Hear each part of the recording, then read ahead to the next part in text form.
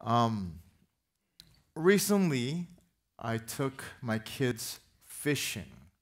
Now, you have to understand that I'm not a very good fishing person. Uh, I've done it a little bit here and there, uh, but I'm not that great at it, not that experienced. But I felt like, okay, you know, you want to be a good dad and you got to do those things. So let's go, let's try, guys. Okay, and the summer's ending, so let's try it. So that day, we went to Dick's Sporting Goods. We went up there, we bought some basic poles, fishing poles, blue one and a red one, right? We bought weights, we bought these little hooks, a little starter set for kids, that's good, a little, little tackle box, and then at Dick's Sporting Goods, you can actually even buy worms. There's a refrigerator inside there that you can buy the worms. And so we bought all these things, got into our car, and then we drove over to this little lake that's in Middleton, not far from here. And so it was a, it was a beautiful day, you know? Uh, summer is ending. This is just a month ago. Summer is going to be ending, so we wanted to take the opportunity to get outside enjoy the weather, and I can check off that I took my kids fishing, you know, uh, doing all that, you know. Um, we spent some time there. And as you can see, we caught some huge fish, right? I mean, huge, like gigantic, right? Um, you know, as you look at this picture, you know, even though the fish we caught were so small, we caught many of these. The reason that I went to this lake in Middleton, I, I called someone from our church who knows about fishing, and I said, "Where can I go? Where can we go that's like guaranteed, you know, guaranteed that you'll catch something because I don't want to be that dad. Oh, we went fishing. We went I, I, I want like success, you know. So where can we go? It's guaranteed. And so they said, well, you go to this place in Middleton. You stand on the dock. You look down. You can basically see like these little fish swimming all around. And so you put a worm on the hook, you drop it in, and pretty much right away something's gonna try to bite it, you know? Sometimes the fish are so small they can't even bite the hook because the hook's too big, you know? But you get something. So I wanted to go to a place like that because I wanted the kids to experience that feeling. You know that feeling, if you've fished before, that feeling when something bites on the line, your bobber goes down underwater, you feel that in your pole. You know that feeling?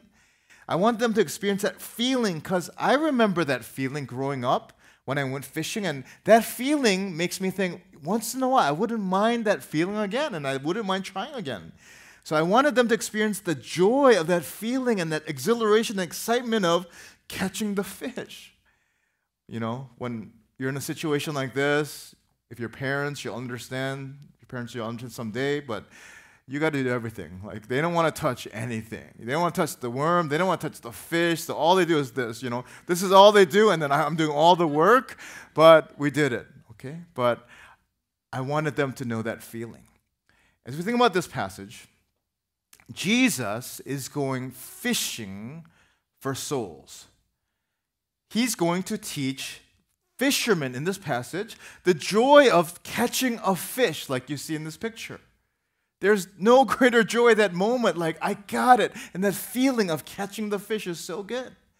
So Jesus is teaching his guys, his disciples, his followers, what that is that there's nothing greater in life than to be fishing for souls. And so today we want to be reminded and we want to learn that there really is nothing greater in this life than to be part of what God is doing in fishing for the souls of men and women who are lost as sinners and who need to be caught up in His grace. And so that's what we're going to do today. We'd like to look at this passage thinking about these three things as fishers of men.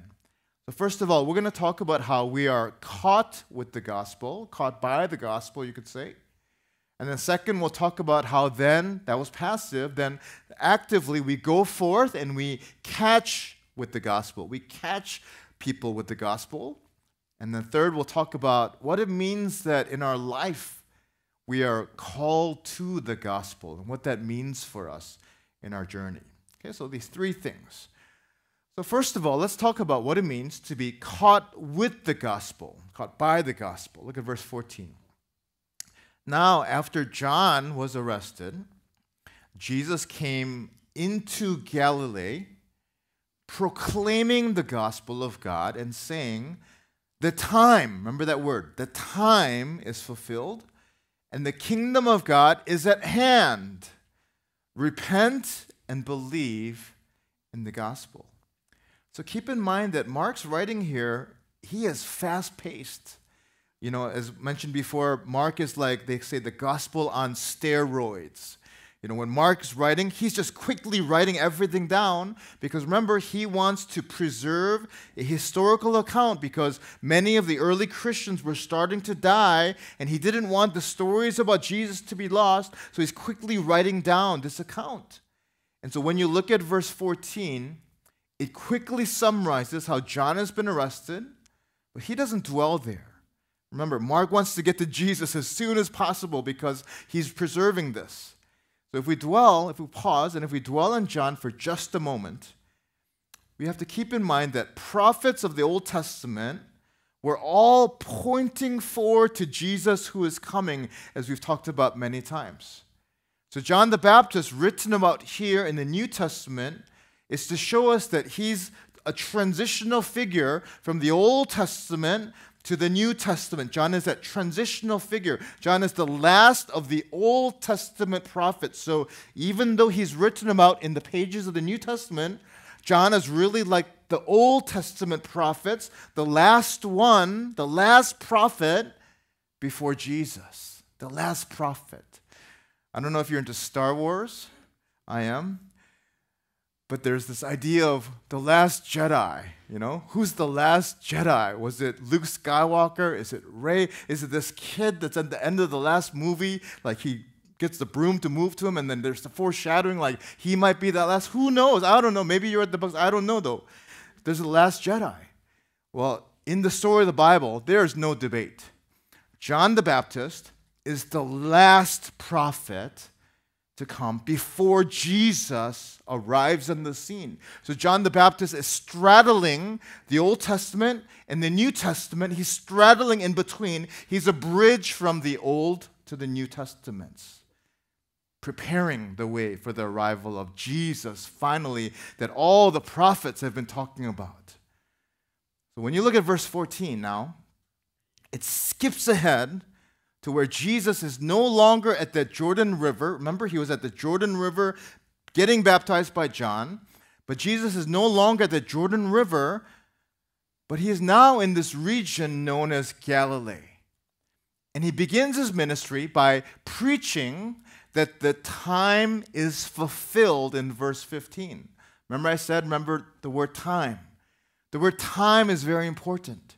It comes from the Greek word kairos. Okay? Kairos. And that just sounds cool. Kairos. Right? It's a kairos moment. So it refers to like a special moment or anointed time. It's like that kairos moment that you've been waiting for all of your life. And Jesus here is testifying that that kairos moment has finally come everything that all of the Old Testaments, Jeremiah, Isaiah, all of these guys, John the Baptist, all of these guys were talking about, pointing forward to, saying would come, prophesying about, that time has come.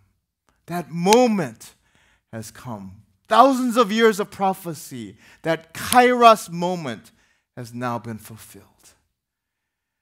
Jesus also says, that the kingdom of God is at hand. This means that the kingdom of God is, is near, it's, it's drawn near in our hands. It means Jesus has finally arrived. So King Jesus has come so that now that means that the kingdom, because Jesus, the king, kingdom, he's brought it, the kingdom has drawn near. So, Jesus the King is inviting everyone to be part of this spiritual and invisible kingdom that is finally drawn near in this kairos moment. So, what is the message of this gospel that we are caught with? This message is a call to repent from living for yourself and believe in this Jesus Christ who has been spoken about throughout the ages through the prophecies. The message of the gospel is not a religious call. It's not a call to go sacrifice more at the altars. It's not a call to go and do more things. It's not a call to sacrifice these more animals and do all these religious rituals. The message of the gospel, it's about turning away from our sin and turning to the long awaited Savior who has now come. And so we are caught as we recognize our need to repent and believe. To repent and believe in Jesus. We are caught in His grace. We are caught by Him. We are rescued from the ocean of sin by Jesus, who is the great fisherman. So, to be caught, what do we have to do? We just do what Jesus says. What does He say? Repent and believe. He says, Repent and believe. This commentator named Lane says this If repentance denotes that which one turns from, belief denotes that which one turns to the gospel. Both verbs in Greek are present imperatives, meaning they're continuous. That is, they enjoin living in a condition of repentance and belief as opposed to momentary acts. So it's continuous. Repentance and belief cannot be applied to certain aspects of life, but not to others. Rather, they lay claim to the total allegiance of believers.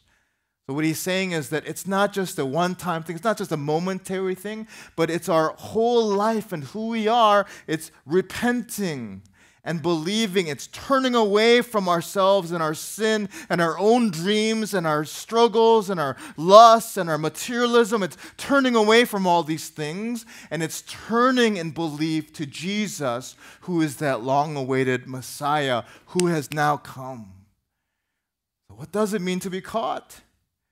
What does it mean to be a Christian? It is to be rescued by His grace caught in His grace, in the nets of His grace, as we repent and we believe. We repent because we see our sinfulness. We believe because we always see our Savior who came so that we could be caught in His grace. Have you been caught? Have you been caught in His grace? I pray that you will not allow yourself to miss out in being caught in the nets of His grace.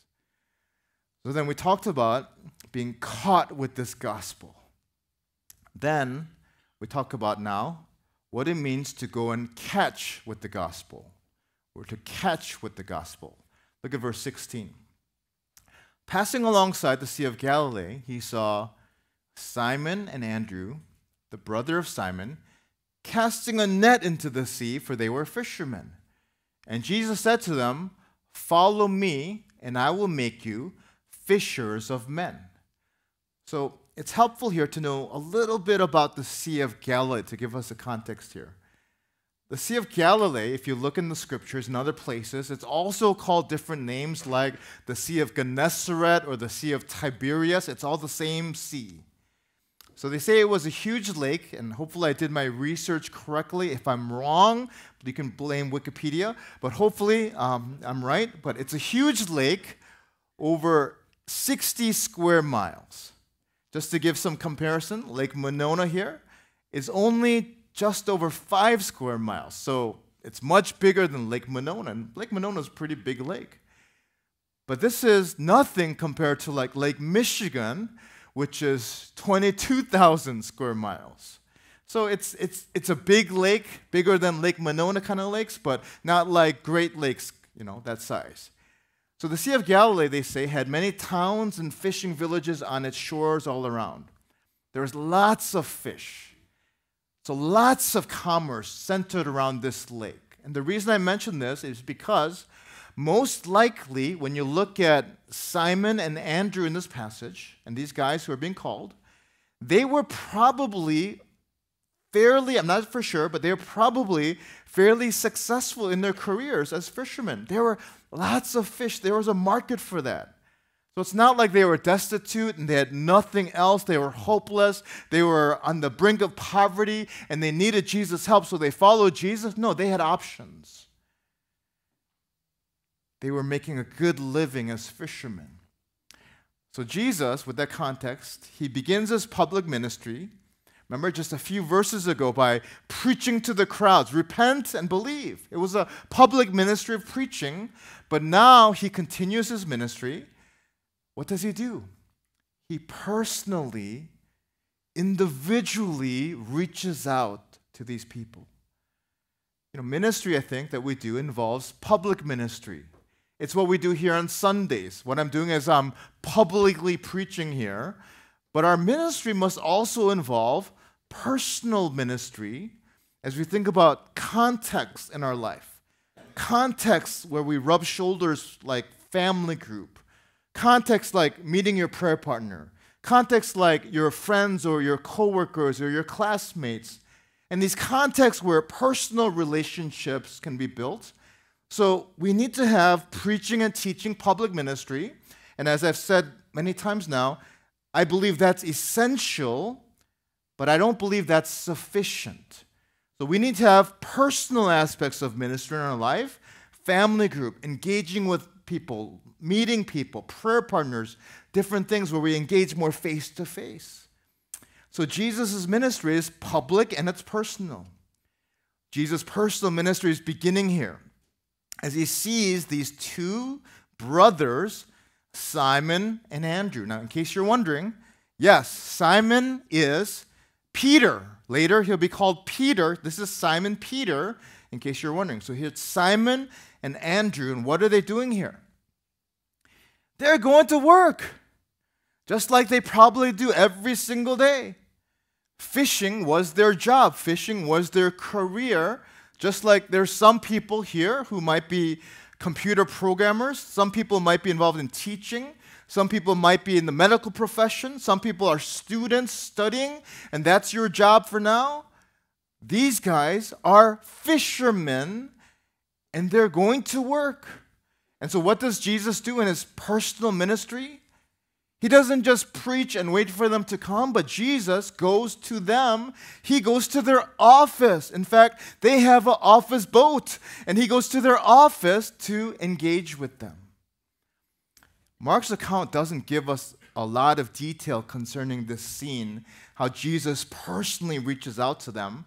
Remember, Mark is like fast paced, right? He just wants to get it down. But Luke, who writes later on, Luke reads Mark's stuff and then he takes some of it, uses some of it, gets more information, and then Luke is a doctor. So Luke writes more descriptively. So, in order to understand this passage, it's helpful to understand and see the other synoptic gospel and see what Luke says in chapter 5 when he writes about this scene. This is what Luke writes. And Simon answered, Master, we toiled all night and took nothing. But at your word, I will let down the nets. And when they had done this, they enclosed a large number of fish. Verse 8. But when Simon Peter saw it, he fell down at Jesus' knees, saying, Depart from me, for I am a sinful man, O Lord. So think about Simon, the professional fisherman, had toiled all night long, meaning they were all there out there all night trying to fish, and there were no fish to be caught. They know there's no fish to be caught. And Jesus shows up and tells them, Hey, why don't you just, I know it's morning, but why don't you just try letting down the nets one more time? It doesn't make sense because you don't do that in the morning. It's a thing that you do overnight. Now, I'm not sure why Simon listens to Jesus, it doesn't make sense to me because it's, it's like some people who work in computer software, and let's say I'm a pastor and I go to your office and I say, you know, I think you should change the code right there. I, I don't know anything about coding. Are I usually change the code right there. And they would look at me like, go read your Bible, you know, go back to church, right? I don't know what to tell them, but think about this scene. Simon is a fisherman all of his life. Jesus is a carpenter. They don't even know each other. So, why does Simon listen to Jesus? I just have no idea. Maybe, maybe Simon had heard rumors about what just happened in the previous passage when Jesus got baptized. Sky opened up. God's voice was heard saying, This is my son whom I love and I'm well pleased. I'm sure news like that got around. So, Simon, we're not sure why he listens, but as he does this, he does what Jesus says, and they have a miraculous catch of fish to the point that Simon is overwhelmed and starts to see this man, Jesus, differently. He starts to see that this might be the Son of God that maybe I've heard about. He starts to see holiness before him he starts to see that this is the Son of God, holy before me. And then he says, I'm a sinful man. Woe to me. He's basically saying, I should die right now. It's kind of like that feeling like, let's say you were at harvest games and you're running around all day. Let's just say it was warmer and you're sweating more. And then instead of going home and showering, you go straight to like a really nice restaurant downtown, just as you are. You walk in and everybody's well dressed and clean and groomed, and suddenly at harvest games you look fine, you know, eating a bologna sandwich. It was great, you know, but you go to this fine dining restaurant and then you'll feel so dirty, right? You'll feel out of place. Simon feels that filth and he sees himself and he says, I should die before your presence. So Simon here declaring his sinfulness. What is he doing? He's repenting and believing. Repenting and believing. Simon Peter was caught by Jesus because he was realizing that I'm a sinner who needs to repent. And he's caught realizing that there's a Savior in front of me in which I can believe. Repenting and believing. That's what it's about. So Jesus says to Simon and to Andrew, his brother, Follow me, and I will make you fishers of men. So these career fishermen are now caught by Jesus, but then these career fishermen are told to go and catch others as fishers of men. Now, notice what happens. Immediately, there's no thinking about it. There's not like, give me a minute here. There's nothing like that. Immediately, they drop their nets to follow Jesus and to go and become fishers of men. I think about what's going on here.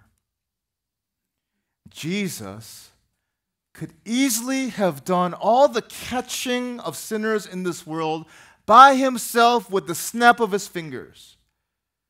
But his desire is for those who are caught to be the ones who would go and catch. You know, if you are here and if you're in Christ, you've been caught. Jesus wants us to experience the joy now of catching others with the irresistible bait of his grace. I don't know for you, but there's been a few times in my life when I experienced this a little bit. I remember one time sitting with this person and just sharing with them they didn't know much about church, they didn't know much about Christ. But sharing with them just my story. I didn't even know how to explain it fully. I was pretty young in my faith, but I just started sharing my story and how Jesus had saved me and how I came to know his love and how I love him. And I didn't know all the answers, but I just kept sharing and telling him that I believe God loves him and God died for him and God cares for him. God is with him and all these things. And you know what? I remember this guy tears starting to run down his eyes. And all of a sudden, he was so overwhelmed by this incredible sense of God's unconditional love. And I remember that moment, the joy that came on his face. But you know what? I experienced an incredible joy because I got to experience what it means to fish. And I got to experience that joy. That's what Jesus wants. He models for us to go where people are. He gave us the example to help them to see their own sinfulness, but also to help them see the grace of a Savior who loves them. He modeled for us what it means to be a fisher of men so that now we can go and engage people and be fishers of men. I am here today because when I was a freshman, there were some guys in my family group that I went to just because I wanted to play basketball with them. But I went to this family group and ate noodles with them late at night and did all kinds of things. And in that year, I am here today because they were fishing for my soul. If you are caught in Christ and you're here, there was someone in your life who went fishing for your soul at some point in your life. It might have been a pastor, it might have been your parents, it might have been some friend in school, but there was someone who went fishing for you. Now, Jesus desires for all who are caught to follow his example and go fishing for men and women who need his grace. It's a fishing expedition that you will not fail in because once people get a taste of the bait, which is His grace, it is irresistible. So, can I ask you, is there someone in your life that you need to go fishing for? Someone that has toiled all night in their life but keeps coming up empty. Someone who is fishing in this world for all kinds of stuff, thinking that these things that they catch in the world will satisfy someone who is hurting, desperately in need of discovering God's love for them. I pray that we, if we are caught, we would go and experience the joy of fishing. He wants us to experience that. You know, Apostle Paul was addicted to fishing. He writes in Romans 10, it's not on the screen, let me read it to you. He writes this. He says, How then will they call on him in whom they have not believed? And how are they to believe in him of whom they have never heard? And how are they to hear without someone preaching? And how are they to preach unless they are sent? And Paul is saying, How beautiful are the feet of those who bring good news. How beautiful it is when we are sent and we go fishing for the souls of people and we experience that joy. And it's what he was addicted to and it's what he loved. He wants us to experience.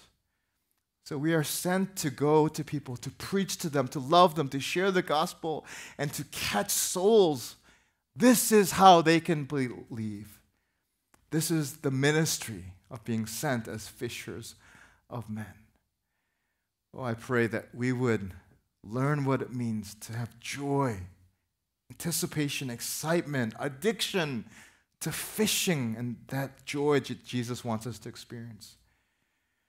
So, we talked about first how we are caught by this gospel. Second, we talked about how now we are to go and catch with this gospel. Finally, we want to talk about this idea of how we are called to live our lives, our life for this gospel. Look at verse 18. And immediately they left their nets and followed him. And going on a little farther, he saw James, the son of Zebedee, and John, his brother. Jesus is always seeking out guys who are brothers, or, who were in their boat mending their nets. Verse 20. And immediately he called them, and they left their father Zebedee in the boat with the hired servants and followed him. So we see with Simon and Andrew, now we see with James and John, that they immediately followed Jesus when Jesus went fishing for them. Here in verse 20, we see these brothers, James and John. What do they do? Immediately they leave and they too follow Jesus. But notice, Notice there's something different here. They not only leave their fishing gear, but they leave behind their father named Zebedee in the boat. Now, I have to ask a question here. Does this mean that they were abandoning their father? Their father who taught them fishing all of their life? Like in those days, you know, if you're the son of a carpenter, you became a carpenter. If you're son of a blacksmith, you became a blacksmith. If you're son of a fisherman, you became a fisherman. Does this mean that they're abandoning Zebedee, their father? I don't think so. Instead, I think the point here is that when Jesus comes, they see how in living for Jesus as a fisher of men, that there is something much bigger than themselves, bigger than their family, bigger than their family business, something more eternal, something more worth living for. Maybe as a family, they had a family business in fishing, and their father Zebedee had plans for them. Who knows? It's not that they are forsaking their earthly father Zebedee. They still love him. They're still to honor him. They're still to care for him, still to provide for him if needed. But they are called now to be a part of their heavenly father's plans. I think rather here it's a matter of them discovering that God has a different plan, a bigger plan for them in a heavenly way, their heavenly father. So Jesus is calling them to be part of this gospel ministry and this gospel work in this way. He's calling them to something bigger, more valuable, more satisfying than this world can afford or offer. It's a life he's calling them to live with a single minded purpose of knowing Jesus and making Jesus known, being caught and catching men and women who are sinners lost without Him. When I read this passage, it reminded me so much of one of my favorite Bible passages, which is from Matthew chapter 13. Matthew chapter 13 is about this pearl merchant, verse 45 46. And this pearl merchant, he's the searcher of fine pearls in this world. And so he's traveled the world and he's seen pearl after pearl after pearl. He's seen the most beautiful pearls that the world has to offer. But then suddenly, one day, he comes across this particular pearl and he's gazing at it because he's never seen a pearl so lustrous, so beautiful, so magnificent. He's just gazing and staring at this pearl. And he thinks to himself, I gotta have this pearl.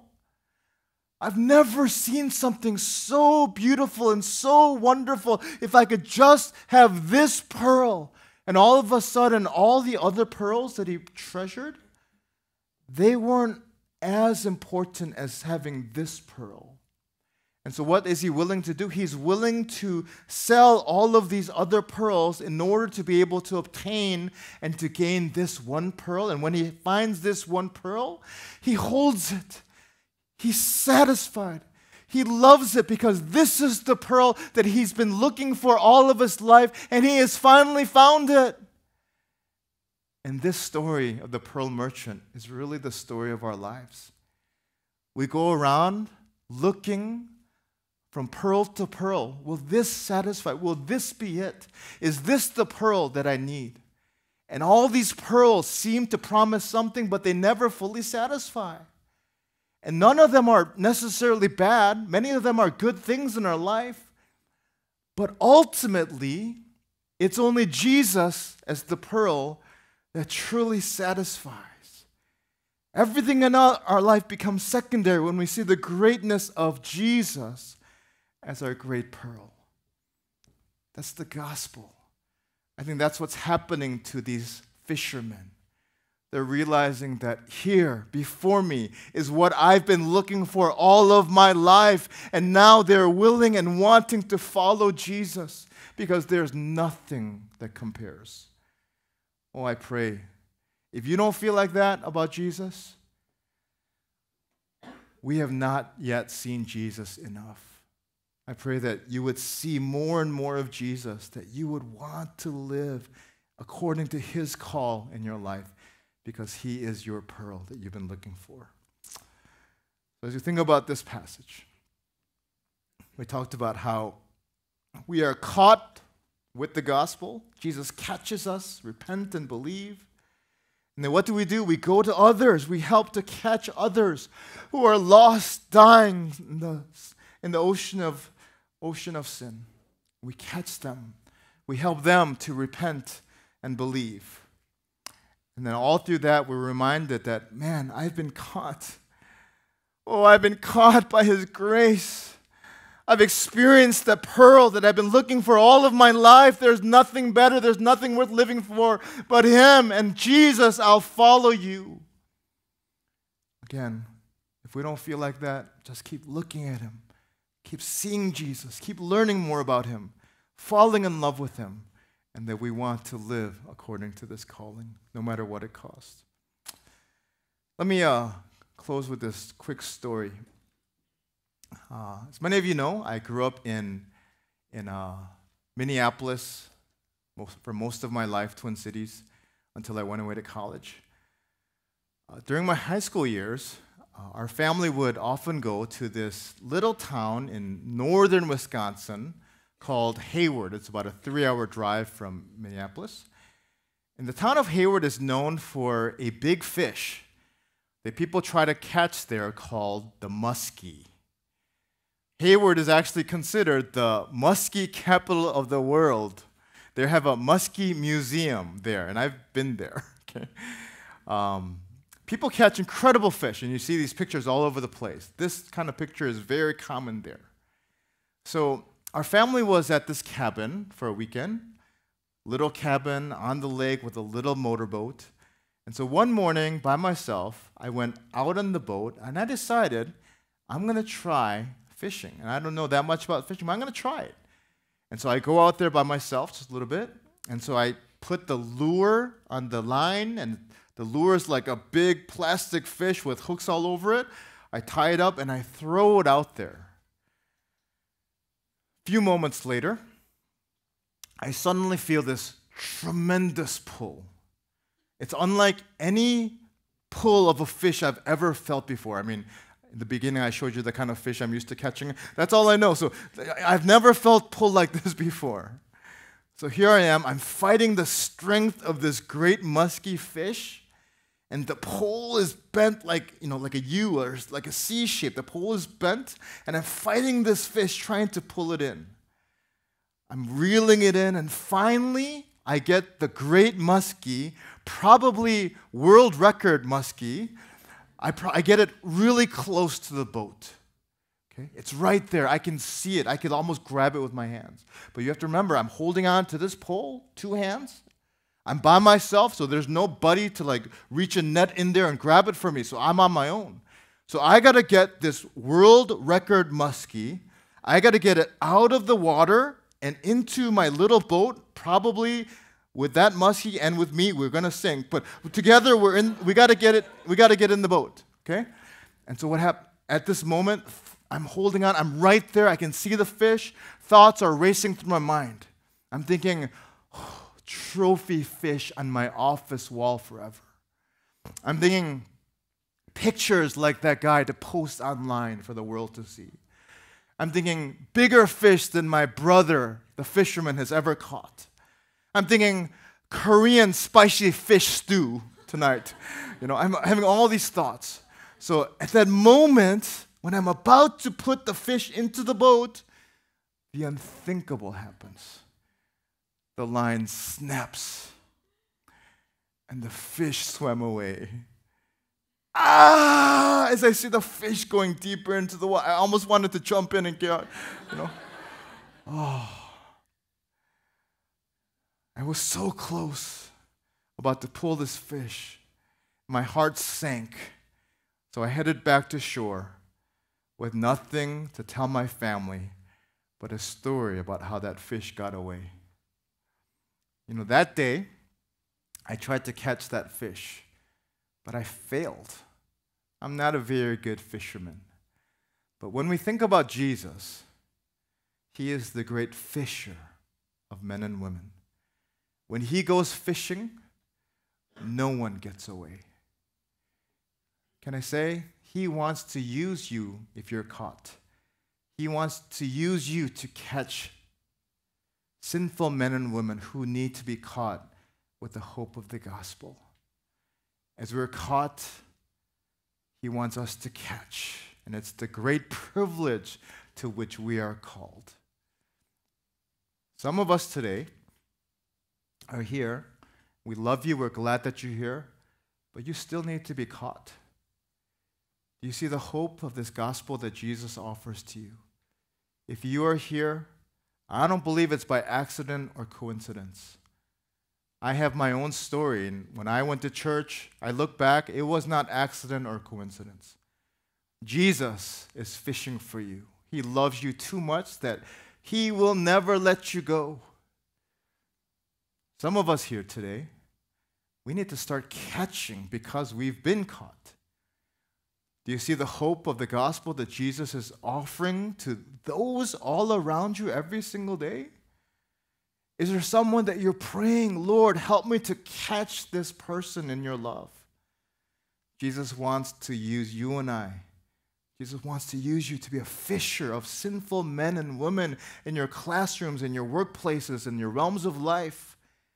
Be a fisher so that these people, that person that you can pray for, would know the hope of the gospel and be rescued and saved. Well, I pray that through our church, we be on a fishing trip that we can never fail in together. And many people would have stories of how they were caught and they became catchers of men and women through our church. Let's pray together.